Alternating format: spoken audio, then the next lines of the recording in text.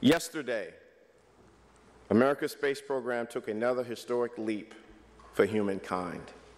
Today, the New Horizons team is bringing what was previously a blurred point of light into focus.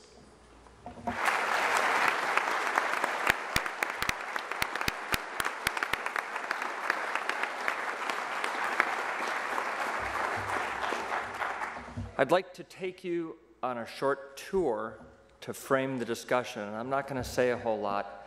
Uh, the first image that I'd like to bring up uh, was taken just about two hours ago by the Solar Dynamics Observatory. I hope you recognize that object, and I think you, I think you know where we're going. Mercury, from the Messenger mission, Venus, from Magellan. If anybody doesn't recognize the next planet, I'd like you to leave the auditorium. APL security will escort you to Area 51.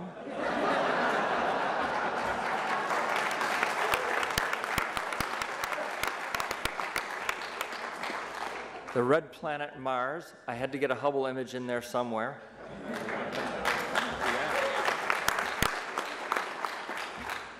Uh, I realize I, I missed Ceres, which the Dawn spacecraft is orbiting right now, Jupiter, with some of the Jovian moons in shadow. Uh, from the Galileo spacecraft, Cassini at Saturn. What a wonderful mission. Uh, this is just a striking image. Uranus, uh, somebody made a wisecrack that I put it in sideways. Neptune, and for a grand finale, I turn it over to Alan Stern, the principal investigator of the Pluto New Horizons mission.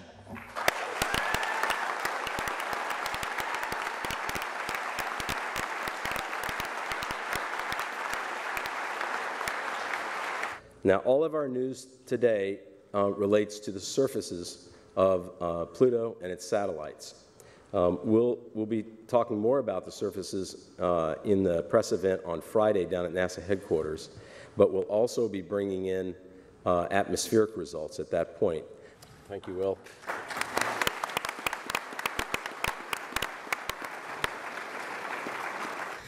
And so it, Charon just blew our socks off when we had the new image today. So if we can pull it up so you can it's take there. a look at it. I don't, yeah.